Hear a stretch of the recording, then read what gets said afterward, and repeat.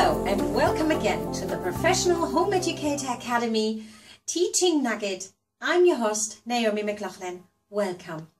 Today I want to talk to you about cognitive objectives. Let's assume you know what it is. No, I'm only joking. The cognitive approach assumes that you, the teacher or carer, has a number of goals you want your child or your children to learn in the upcoming term. So it also assumes that each student, or in this case your child or children, work towards long-term general goals along different pathways while using different styles of learning.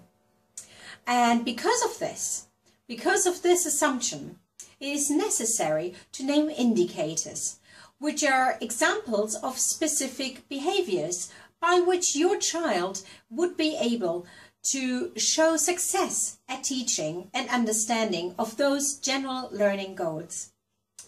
But it is neither desirable nor is it even good to have a list of all indicators and or to complete a full full list. It's only it only gives you a way of structuring what you're gonna do. Okay, let me give you an example. Let's say you want your child to understand the nature and purpose of photosynthesis. So an indicator would be to explain the purpose of photosynthesis and the steps in the process. Your next step, so number two, might be to um, have a diagram and show the steps of the chemical process. Step number three could be to describe how the plant um, photosynthesis affect the animal world. In step number four, you could write a plan um, how to test leaves in the presence of photosynthesis.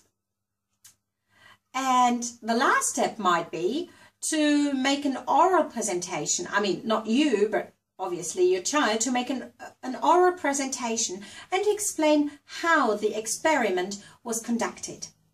So this gives you an overview of how you could use the cognitive approach and a cognitive objective. What I would like you to do next is to identify and choose long-term goals for your child or children. Then to give specific examples and just to list them down those would be your personal indicators. And lastly, I would like you to think about the plan you, you got in your mind and how you want to mark it out. But obviously, please keep it flexible.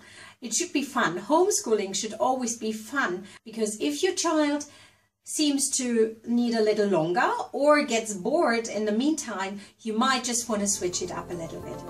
I hope this video was helpful for you and I'm looking forward to see you again. Goodbye for today.